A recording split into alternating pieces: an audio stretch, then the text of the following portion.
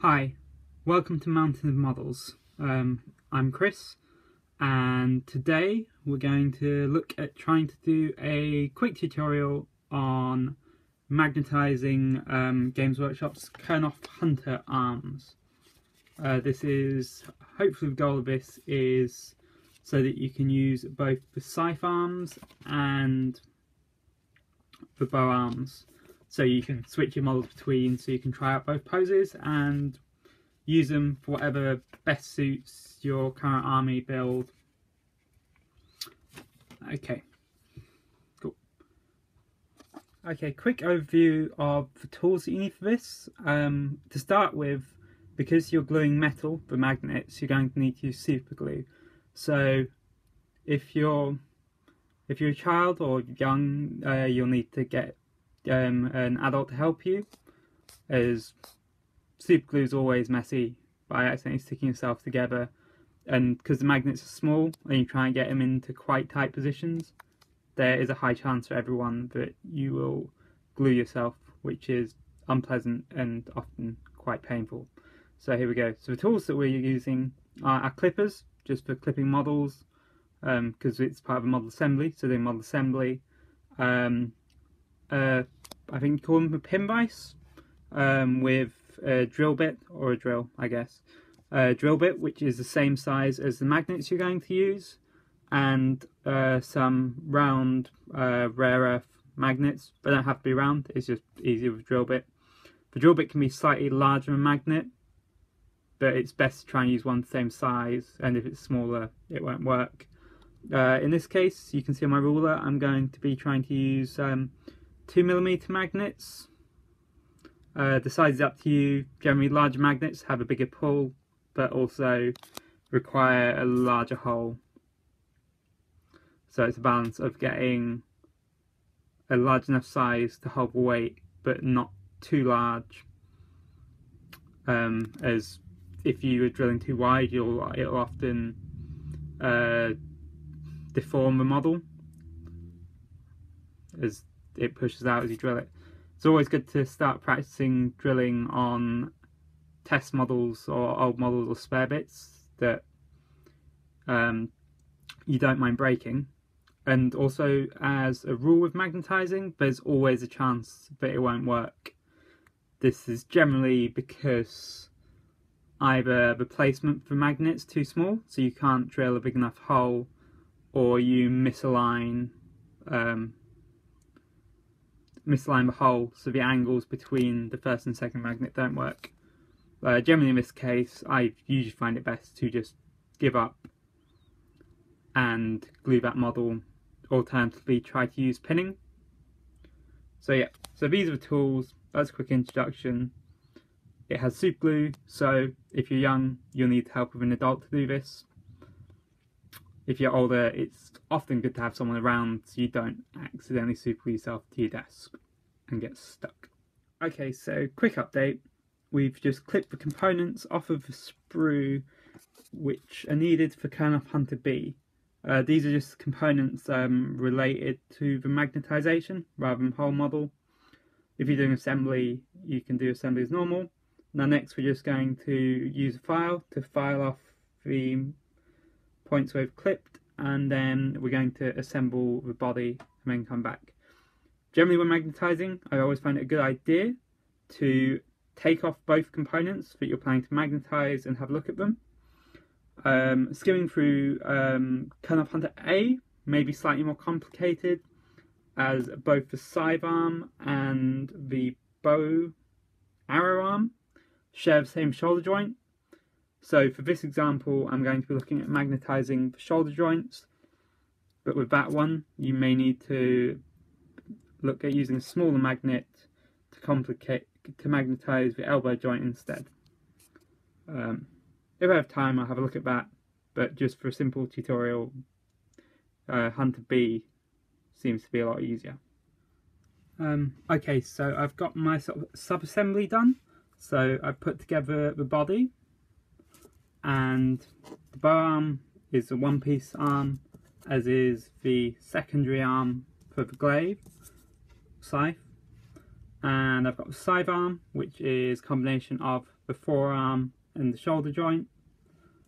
And I've got the other arm for the bow just sort of re releasing hand which again was a shoulder joint and forearm um, what's best to do now I find is with any thing you're magnetizing is just to dry fit the components sort of to get an idea of here we go of how easily they're going to go in and where they're going to go things like that. Finding the thumb is a good trick because that's usually the top. So with this guy bow arm goes there I mean these kits are quite good to start doing magnetization on because they've already got a peg and hole um, which kind of can give you a guideline of where to place a magnet. It's not necessarily the best place because more central is often good, but with curvature, it's a good outline of where I can put my magnet. Um, also, I think that here the main thing which I was looking for was which of the two options is more difficult. And in my opinion, the scythe arm is more difficult as you need two hands to connect while so that goes to the hand and then the other arm comes in here and they connect on the little hand socket there so that's the more complicated of the two which is the one which we'll look at doing first because that being right or as close to right as possible is going to be like I say most important because the other one two arms are separate so if there's a slight angle that you need to maybe add some green stuff or plastic card to here to cover, then that's a lot of less of an issue than your hands not lining up on a two-handed weapon. Okay, so that's subassembly done. So now next we're going to just look at magnetization. So what we're probably going to do when we come back is we're going to have uh, these um, plugs um, uh, cut off I'm going to be looking at drilling the hole to add the magnet in. Okay, so coming back, I've now uh, drilled a hole here um, and placed the first magnet in the body. I haven't done this side yet. And I've placed the magnet in the arm. Um, I've also got a hole in the non-bow arm, which I haven't yet put a magnet in. In general, you want the hole to be so the magnet generally fits um, flush, so it's not sticking out or sticking out as little as possible. Um, really, you want it just to be flush, so two magnets make contact uh, for best hold. Um, so, yeah, so that's the first magnet in and yeah I'm quite happy with the placement of that I can see by dry fitting the other arm that it lines up quite well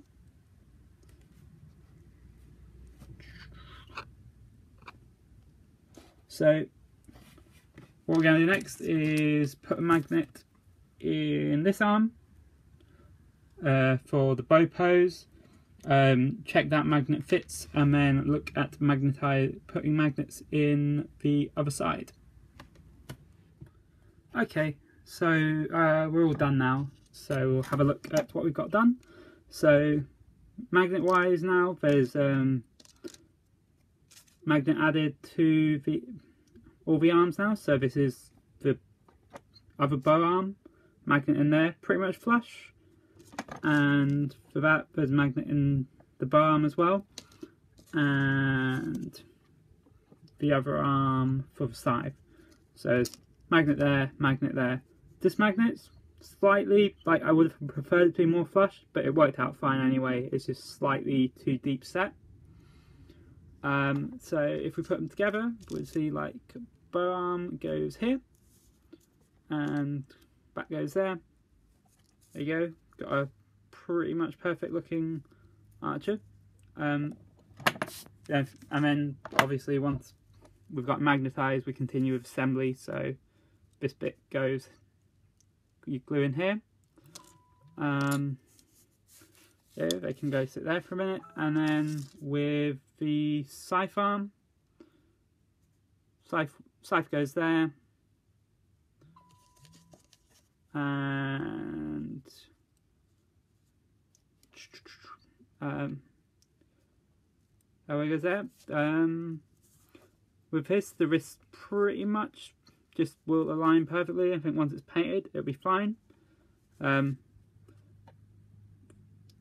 because the top bit's going on, I'd probably not glue the wrist, just so you can easily move the arms in and out, so you don't get caught by the socket.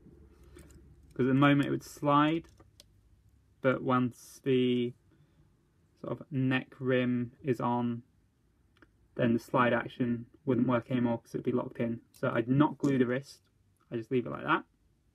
But that is uh, hopefully alright tutorial on how to magnetize the arms of Hunter. So yeah, so once the arms are magnetized, then continue with the rest of the model assembly, adding the um, shoulder shoulder pads to the arms, and yeah, legs, head, the rest of it.